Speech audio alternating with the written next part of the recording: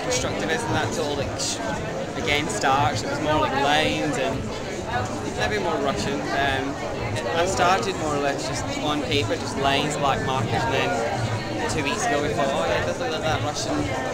So, it, was not, it was really that intentional, just kind of. But not sort of architectural or anything. No, it's more or less just, Just playing with it. and- Yeah, just when you have like ribbon and you play with it in panels, it's really good to just to place on the body or just because you instantly get it, or it can look really quite bad. You need to really play with it and formulate it. So